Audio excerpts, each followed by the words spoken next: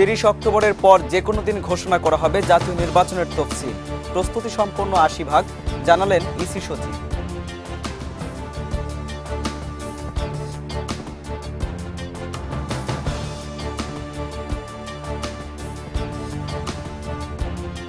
এবং জাতীয় গ্রিডে যুক্ত হলো আরও তিনশো মেগাওয়াট বিদ্যুৎ।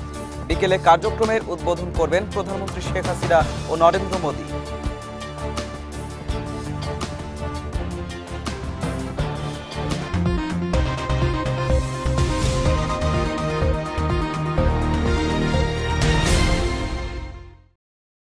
আসসালামু আলাইকুম। বিজয় জেলা বার্তায় আমন্ত্রণ জানাচ্ছি আমি নাহিদা মিতু। এবং আমি আরিফুল ইসলাম। শুনছিলেন শিরোনাম, এবার বিস্তারিত। ভারত থেকে নতুন করে আমদানি করা তিনশো মেগাওয়াট বিদ্যুৎ জাতীয় গ্রিডে যোগ হয়েছে। রোববার রাত বারোটা থেকে কুষ্টিয়ার ভেড়ামারা হাই ভোল্টেজ সাব স্টেশনের দ্বিতীয় ব্লক দিয়ে এই বিদ্যুৎ জাতীয় গ্রিডে যোগ হয়। এর মাধ্যমে ঘরে ঘরে বিদ্যুৎ পৌঁছে দেওয়ার লক্ষ্যে আরও এক ধাপ এগিয়ে গেল বাংলাদেশ। বিকেলে প্রধানমন্ত্রী শেখ হাসিনা ও ভারতের প্রধানমন্ত্রী নরেন্দ্র মোদী ভিডিও কনফারেন্সের মাধ্যমে বিদ্যুৎ আমদানি কার্যক্রমের আনুষ্ঠানিক উদ্বোধন করবেন। এছাড়া Akhaura, Agartala, dual gauge, rail line প্রকল্পের বাংলাদেশ অংশের নির্মাণ কাজেরও আনুষ্ঠানিক উদ্বোধন করা হবে আজ।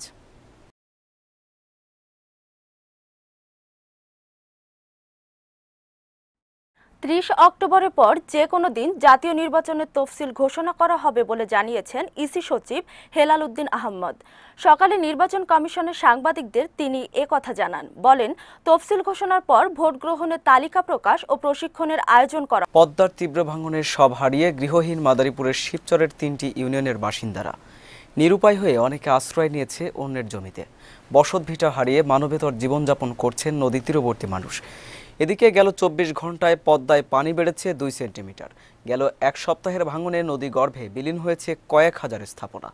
নতুন করে নদী ভাঙন দেখা দিয়েছে চরজানাজাত বন্দরখোলা ও কাঁঠালবাড়ি ইউনিয়নে। গাজীপুরে ব্যবসায়ী মিলন ভুইয়া হত্যার মামলায় সাতজনের ফাঁসির আদেশ দিয়েছে আদালত। সকালে জেলা ও দায়রা জজ আদালতের বিচারক এ কে এম এনামুল হক এ আদেশ দেন। মামলার বিবরণে জানা যায়, নিহত মিলন ভুইয়া নির্মাণ কাজে ব্যবহৃত বাঁশ, কাঠ, প্লেন সিটের ব্যবসা করতেন। সেই ব্যবসার পাওনা টাকা আদায় করাকে কেন্দ্র করে আসামিদের সাথে তার বিরোধ হয়। এর জেরেই দুই হাজার এগারো সালের ছাব্বিশ ফেব্রুয়ারি ভাওয়াল জাতীয় উদ্যানের সামনে মিলনকে হত্যা করা হয়।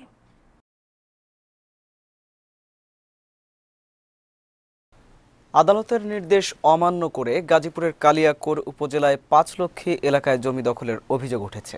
ভুক্তভোগীদের অভিযোগ, পাঁচ লক্ষী এলাকার বাহাত্তর শতাংশ জমি ভোগ দখল করে আসছিলেন আমির হোসেন গং। তবে জমির মালিকানা দাবি করে আসাদুজ্জামান ও তার লোকজন। পরে এই বিষয়ে আমির হোসেন গং মামলা করলে আদালত একশো চুয়াল্লিশ ধারা জারি করে। তবে আদালতের নির্দেশ অমান্য করেই জমি দখলের চেষ্টা করেন আসাদুজ্জামান ও ফাহিমার লোকজন।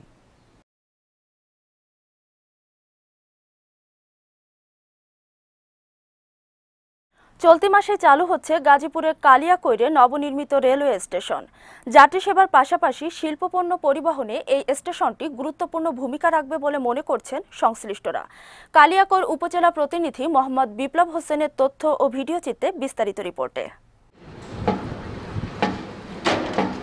গাজীপুরের কালিয়াকৈর হাইটেক পার্ক সংলগ্ন এলাকায় নির্মাণ করা হচ্ছে আধুনিক এই রেল স্টেশন।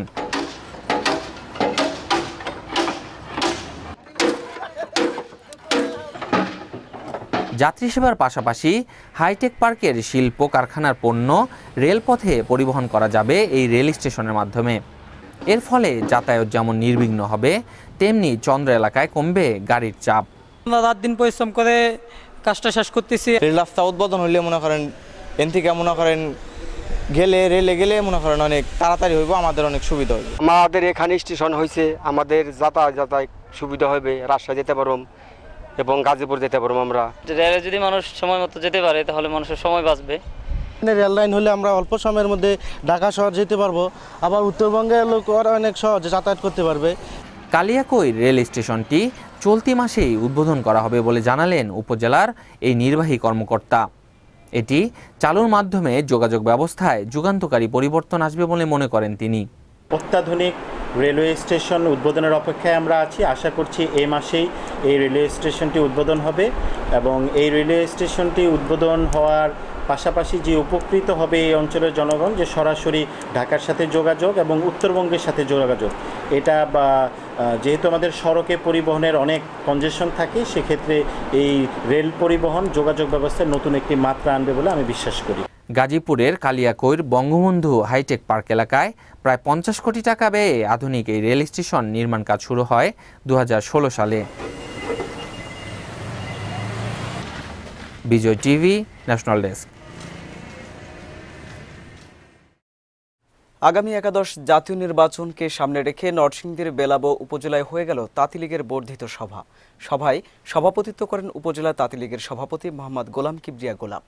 উপস্থিত ছিলেন নরসিংদী তাঁতিলীগের সভাপতি আব্দুস সাত্তার মেম্বার, উপজেলা তাঁতি লীগের সাধারণ সম্পাদক মোহাম্মদ কামরুজ্জামান ভূঁইয়া সহ অন্যান্যরা।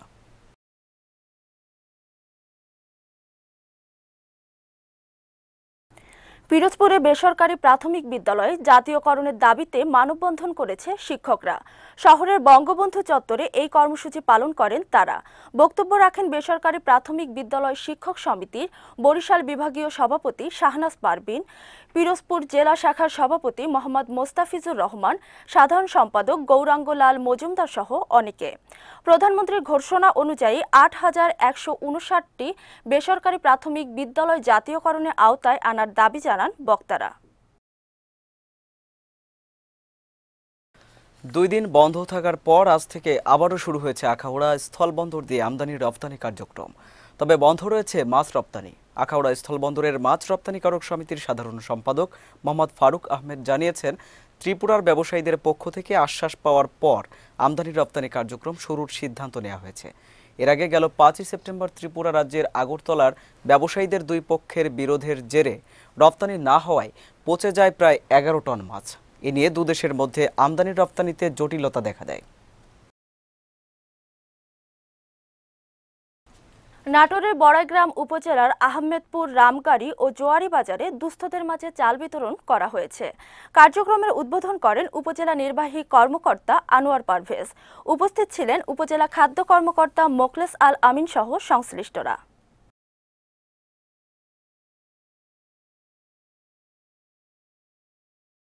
ফুটবল খেলাকে কেন্দ্র করে মাদারীপুরের সৈয়দ আবুল হোসেন একাডেমি ও D K ideal Syed Atahar Ali একাডেমির ছাত্রদের ওপর হামলার প্রতিবাদে মানববন্ধন হয়েছে। ঘটনার সঙ্গে জড়িতদের দৃষ্টান্তমূলক শাস্তির দাবি জানান শিক্ষক, শিক্ষার্থী ও অভিভাবকরা। গেল পাঁচ সেপ্টেম্বর ফুটবল খেলা নিয়ে আবুল হোসেন একাডেমি ও আতাহার আলী একাডেমির শিক্ষার্থীদের ওপর অতর্কিত হামলা চালায় দুর্বৃত্তরা। এতে আহত হন কমপক্ষে বিশ জন।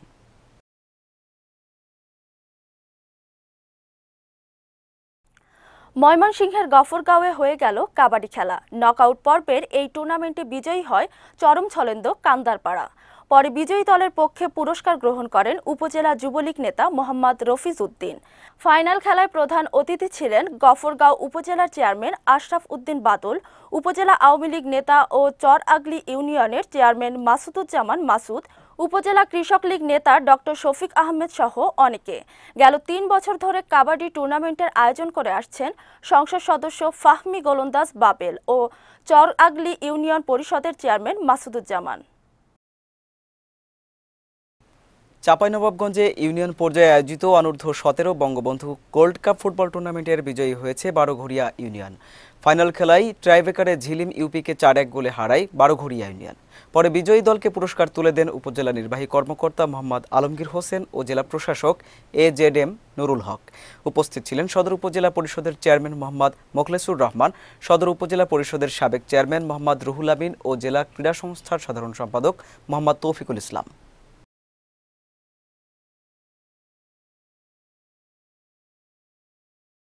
বিজয় জেলা বার্তা শেষ করার আগে শিরোনামগুলো দেখে নিচ্ছি আরও একবার। তিরিশ অক্টোবরের পর যে কোনো দিন ঘোষণা করা হবে জাতীয় নির্বাচনের তফসিল। প্রস্তুতি সম্পন্ন আশি ভাগ, জানালেন ইসি সচিব।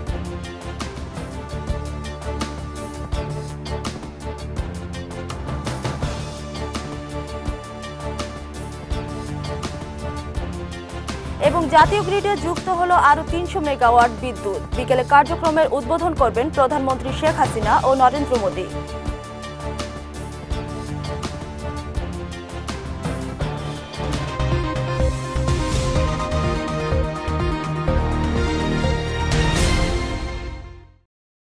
দর্শক দেশ বিদেশের সর্বশেষ সংবাদ সবার আগে জানতে ভিজিট করুন কম এই ঠিকানায়। আর সেই সাথে আমাদের পরবর্তী সংবাদ বিজয় চট্টগ্রাম বার্তা দেখার আমন্ত্রণ জানিয়ে শেষ করছি আজকের বিজয় জেলা বার্তা। সাথে থাকার জন্য ধন্যবাদ সবাইকে। ধন্যবাদ।